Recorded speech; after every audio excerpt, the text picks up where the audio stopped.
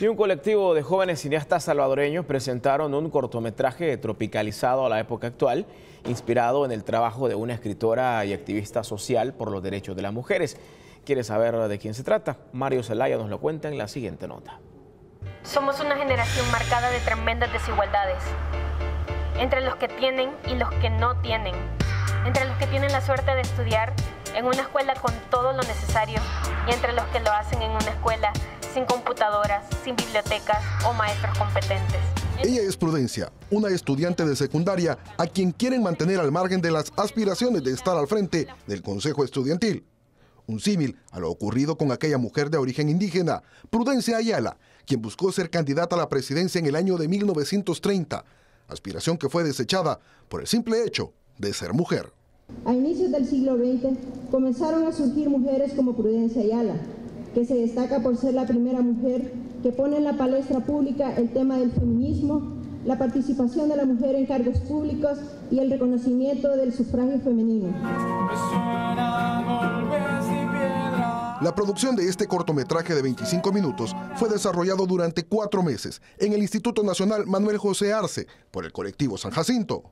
Como una representación a manera de actualización, trata de una chica de bachillerato que se postula candidata del Consejo Nacional Estudiantil y se enfrenta a una serie de cosas, por ejemplo un, candidato eh, que es el antagonista de ella, se enfrenta a un montón de problemas y con sus amigos eh, emprende eso, esto de, su candidatura. Te digo algo, llévate el sobre, vos no decís nada, yo tampoco y me sé pasar al siguiente. Si bien fue estrenada en el marco de la conmemoración del Día de la Mujer, también buscan generar conciencia entre los estudiantes de secundaria. ¿Qué tal si nos llamamos MERS, Movimiento Estudiantil Revolucionario de Secundaria? Eso existió antes ya aquella conciencia que era evidenciada entre estudiantes de secundaria y universitarios y que fue reprimida durante las dictaduras militares. Buscar de nuevo la brecha entre adolescentes, entre un lenguaje de adolescentes y un lenguaje universitario. Pretende traer estos temas que tiene la juventud, pero también hacer un llamado al, a, ¿cómo se llama?, los estudiantes universitarios, de que están los estudiantes de secundaria con un montón de problemas, con un montón de, de exigencias y hay que aprender a rehacer ese tejido estudiantil como gremio para eh, proponer soluciones al país.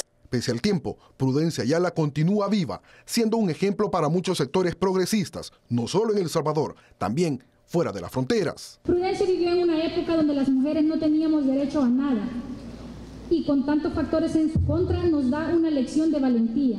Enfrentó todo un sistema que quiso desvirtuar su lucha pero hoy en día vemos que su aporte es una piedra fundamental en los logros que se van conquistando.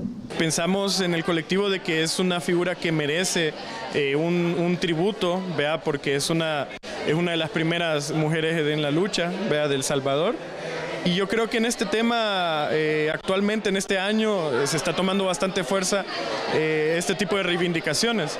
Entonces, como colectivo siempre trabajamos temas de juventud, de estigmatización, de violencia, en, por medio de audiovisuales.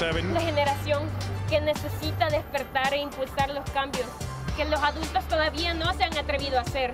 Prudencia Ayala es la salvadoreña de sangre indígena, considerada la precursora de la lucha por los derechos humanos de la mujer.